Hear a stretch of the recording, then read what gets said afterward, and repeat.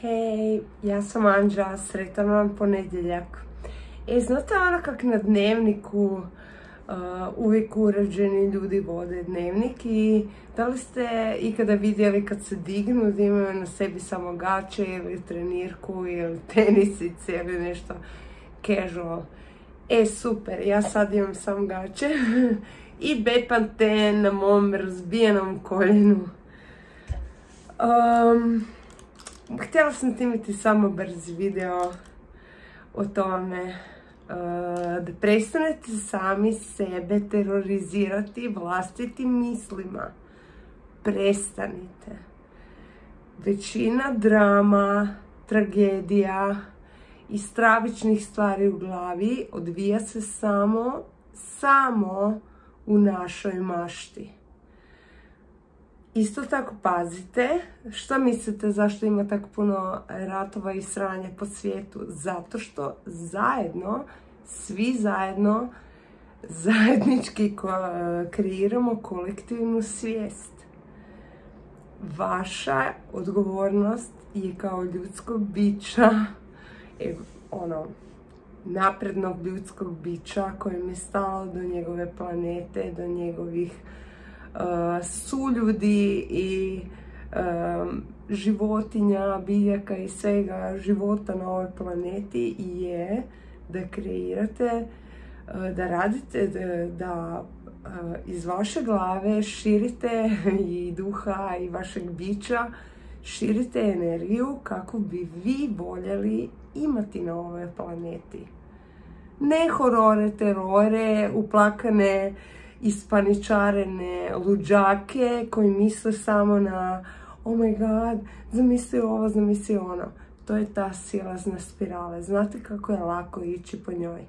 Ja sam recimo cijeli ovaj prošli tjedan zapravo, da, jedan dan super, jedan dan tak, jedan dan super. I mislim se, ok, to je najdepresivniji dan u uh, mjesecu, godini. I e, vidim koliko sam se promijenila jer sam sam to prihvatila. Nisam ušla u samo osudu, nisam zaključila da sam totalni luzer, nisam, jesam, jako puno sam plakala. Imala sam potrebu plakat i dopustila sam si plakat. Znate šta sam radila? Nisam hranila plać danjim mislima o katastrofiziranju već dodatno teške situacije, nego sam se ovako gledala, gledala, grla, rekla je, ok, Anžika, samo plaći, pusti to van. Ja sam tu za tebe sada. Ja, velika ja, ja ću te zaštititi i utješiti. I onda kad bi mi došle neke misli, kao prije, one koje bi mi furale u taj bezdan, ja bih rekla, stop, makni se, ti više ne pripadaš ovo. Ja brinem za nju sad, ja ću je zaštititi. Mi imamo novi život, nove misli, misli su kao sjemenke, sadimo novu predivnu budućnost. Nije li sve divno? Nekoliko puta sam čak to i izgovorila, ali nisam mogla, plakala sam, plakala sam, čitala knjige i tako. I e, kada sam ispraznila taj kontejner emocija, te tuge goleme koje sam trebala isplakati, javile su mi se neke stvari iz moje prošlosti, oplakivala sam mamu, oplakivala sam vremena kad nisam mogla s njom, ne znam. I pustila sam si, pustila sam si isplakala. Kad se taj moj emocionalni kontejner ispraznilo, hop, odabrala sam nešto drugčije. Nemojte na sebe silom. I sad, ako ne znate sami, ako ne znate sami, možete bukirati jedan na jedan razgovor, konzultacije, trening sa mnom.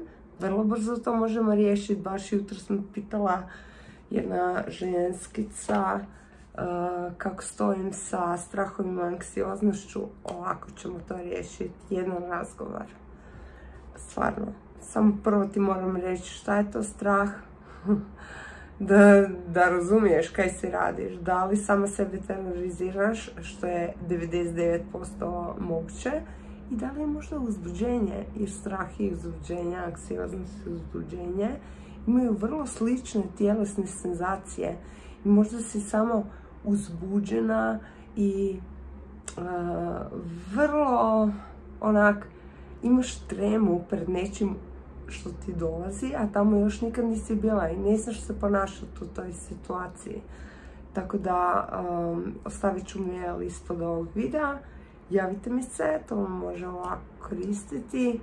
I to je to, prestanite sami sebe terorizirati.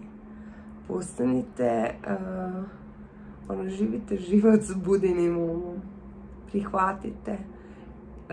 Danas sam i sinoć trenirala opet radikalnu radical acceptance. To je ono radikalno prihvaćanje svega što je radikalno prihvaćanje. Ok, so what? Uh, koljeno me jučer peklo, nisam mogla naći evo mene kao na dnevniku.